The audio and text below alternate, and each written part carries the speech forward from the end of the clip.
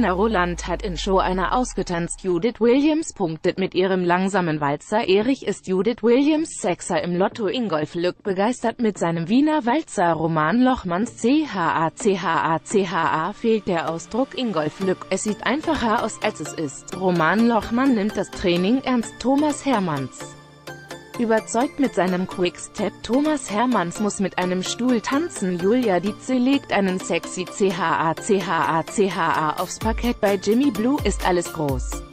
In der ersten Show von Let's Dance präsentieren Schauspieler Jimmy Blue Ochsenknecht und Renata Losen einen Quickstep zu Freedom von Dick Brave, Cover George Michael. Mit seiner Darbietung bringt er Jurorin Mozi Mabuse richtig aus dem Konzept wie Quasimodo und Esmeralda aus der Glöckner von Notre Dame, Jimmy Blue Ochsenknecht und Renata Losin haben mit ihrem ersten gemeinsamen Tanz bei Let's Dance 2018 einige Probleme. Das liegt unter anderem an ihrem Größenunterschied. Der Schauspieler ist mit seinen 1,92 Meter wesentlich größer als die zierliche Profitänzerin ist. Für Joachim Jambi ist das aber keine Entschuldigung. Das heißt aber nicht, dass du schlecht tanzen musst, sagt der strenge Juror. Die Haltung war wie bei Quasimodo und Esmeralda aus der Glöckner von Notre Dame. Mozi Mabuse fand den Tanz hingegen gar nicht so schlecht. Obwohl sie zugegeben muss, das waren zwei verschiedene Welten in einem Tanz. Doch als es erneut um die Größe des Schauspielers geht, verliert Mozi die Kontenance.